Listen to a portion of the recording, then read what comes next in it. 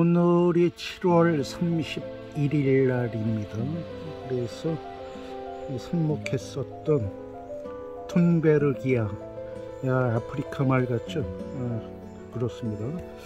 아프리카 식물, 동물성 식물인데 아프리카 나팔꽃이라고도 해요.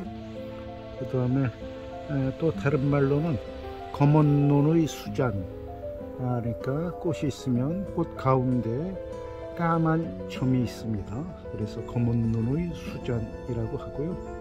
황색, 뭐 오렌지색 아, 그런 꽃들도 있고 백색도 있어요. 이거는 이제 황색 아, 보신 것처럼 황색이고요. 그래서 뿌리 활동이 이렇게 좋습니다. 음, 덩쿨은 아직 예, 그대로인 듯한데 뿌리 활동이 워낙 좋은 어, 그 아프리카 아프리카 나팔꽃 검은 눈의 수잔입니다. 네, 세 개를 해놨는데 어, 세 개가 이렇게 뿌리 밝음이 좋습니다. 그리고 지금서부터는 이제 동굴이 아주 급속도로 자랄 거예요. 여기 보면은 이제 꽃이 아, 약간 아, 예, 형태를 갖추면서 오고 있습니다.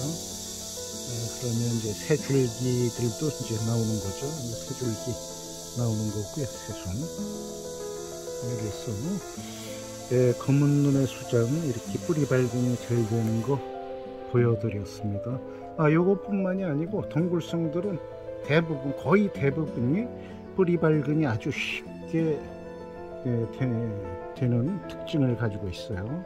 우리나라의 그 달에도 동굴성인데 지금 삽목을 하면 아주 잘 되죠.